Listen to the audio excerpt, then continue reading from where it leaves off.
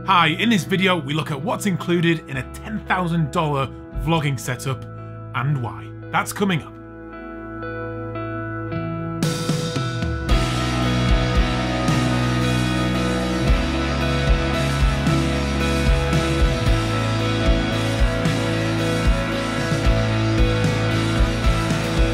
Just look at that view at the top of Skiddaw Mountain.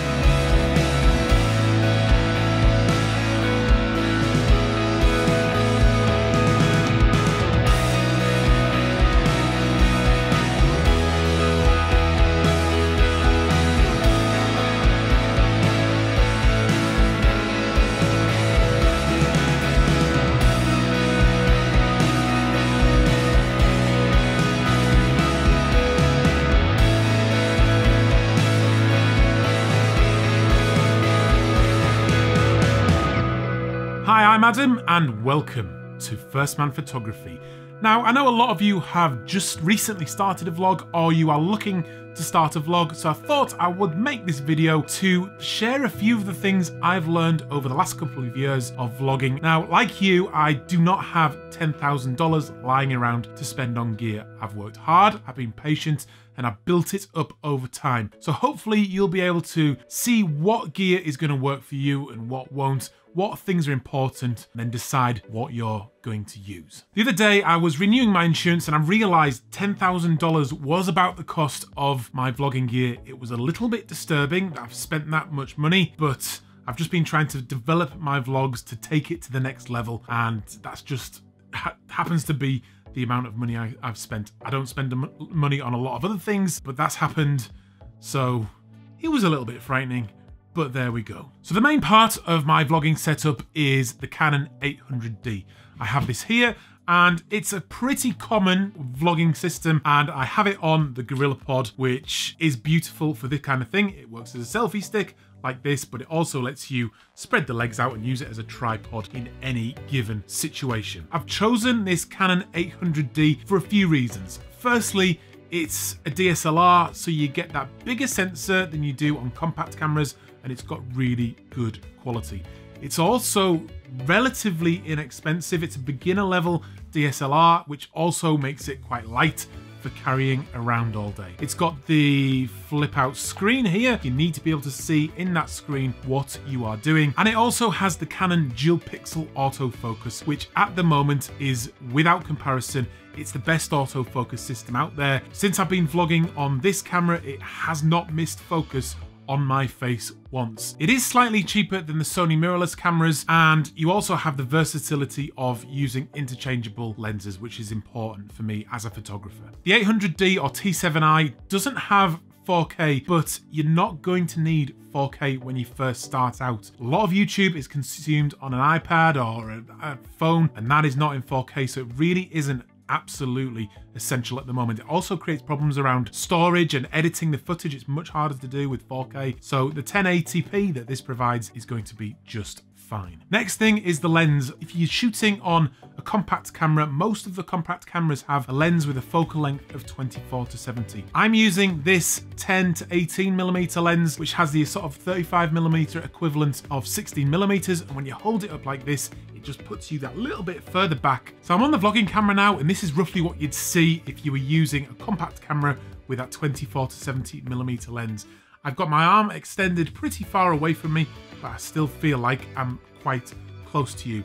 On the other hand, if we turn this lens to 10 millimeters, it puts me much further away it just feels much more natural and I'm not right up in your face. It's less intrusive and it's just better for the overall story and the overall look. Okay, microphone wise, I'm using two things at the moment. I have the Rode VideoMic Pro, which just sits on top of the camera that's an easy solution, it captures good sound in most situations. The problem with the Rode VideoMic Pro is that it's susceptible to wind noise and because it's sitting on top of the camera, you also pick up some of the lens noises when it autofocuses. This is the Rode Filmmaker Kit. It sits on top of the camera like this and it's a wireless system to a pack that you wear on your side and then it has a lavalier microphone. The good thing about lavalier microphones is if it's windy, you can just turn your back on the wind and then you're still going to capture that really nice audio. It's a good system, it works well. It's important for me to have the audio going straight into the camera because if you're shooting by yourself, you need things to be simple and I want it to record the sound when I press stop and start on the camera. So for a long time, I shot with just this system. You can get some good video from this and it's going to work well in the vast majority of situations. But this is the $10,000 vlog setup, so let's move on to the next thing. Next is the Canon 5D Mark IV. This is an absolute beast. I use it for my landscape photography, my wedding photography, wildlife photography, and water drop photography, and it does it all. What I now use it for is shooting my B-roll. B-roll is hugely important when you're creating films and vlogs because you want to be able to cut in and out of the talking head and add some layers and some interest to your videos. And this can capture some really good quality footage. This camera will shoot 120 frames per second, which allows you to capture some really beautiful and interesting slow motion footage, which all adds to the experience. And that's why I've started using that. What this camera also lets me do is as I put a nice big aperture lens on the front, it lets me capture some of those really beautiful shallow depth of field shots. And in order to capture those as well, you're going to need an ND filter because when you're outside and it's bright, when you open the aperture up to things like f2.8, it lets a lot of light in. So you start to overexpose your shot unless you use an ND filter like this. This is a variable ND filter. It's expensive, but it's worth having because you can adjust it so you can have it wide open like that. And then as you turn it, it gets darker and darker so you can have the right amount of light coming into your camera at all times. It also lets you control the exposure of your camera really smoothly during a shot because if you do that with the aperture or the ISO, the camera tends to jump and it just looks horrible in your shot, but you can do it really smoothly with this to the point in your B-roll where you just won't notice it. A good investment. Next up, we have the drone. This is the DJI Mavic Pro. It literally adds another level to your footage. Having those aerial shots lets you create the establishing moments which just puts the viewer in the place where you are and gives them a better sense of the story you're trying to tell. A really good bit of kit. It's easy to fly, but it's important to try and get really good quality footage with smooth movements, nice shots, and that's the hard thing when it comes to that. Another thing that makes up the $10,000 vlogging setup are accessories. Things like batteries, memory cards that you just don't want to run out of uh, because it can ruin your entire shoot. I also carry a nice bag because I want to get everything in and I also want to have easy access to all my gear. Being prepared and making stuff as straightforward as possible on the day is what lets me get everything done. I don't want to be faffing around with gear that goes wrong because it just detracts from me telling my story of the day. So do you need a $10,000 vlogging setup?